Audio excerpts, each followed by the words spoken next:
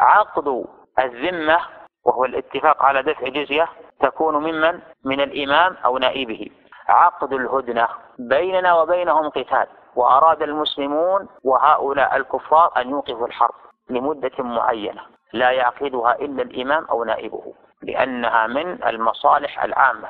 فإذا كلها من الإمام أو نائبه. إلا الأمان يكون من الشخص في حدود العدد اليسير ترفع إيقاف الحرب بين المسلمين والكفار لا يعقد إلا عن طريق ولي أمر المسلمين أو نائبه وتعقد إذا احتاج المسلمون إليها كضعف ونحوه.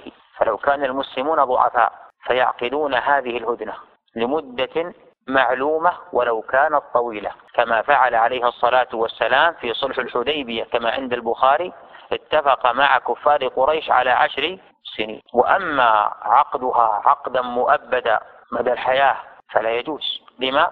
لأن فيه تعطيل للجهاد.